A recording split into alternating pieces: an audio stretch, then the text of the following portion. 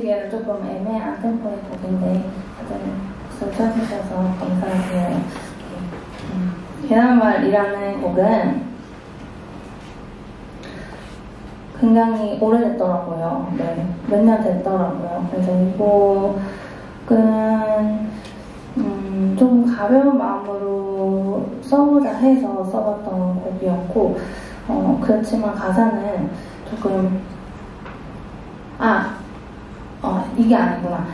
좀 짝, 짝사랑하는 곡이구나. 아, 짝사랑하는 내용인데 슬픈 내용은 아니에요. 근데 이제 어 되게 어 괜한 말을 좋아하는 사람 앞에서 아예 말이 없어지는 사람이 있고 또 괜히 막 말이 많아지는 사람이 있잖아요.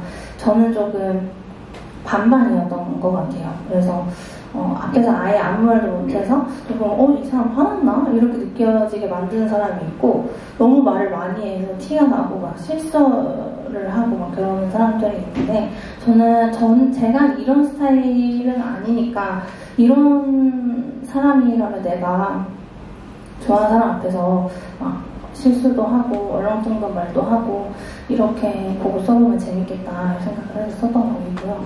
네, 음, 좀 저를 제 공연을 많이 와보셨던 분들은 계란말을 많이 들어보셨을 거라고 생각이 들어요. 그만큼 저도 좋아하는 곡이고 많이 부르는 곡인데 오늘도 레이블 공연에 이렇게 두 번째 곡으로 가져왔어요.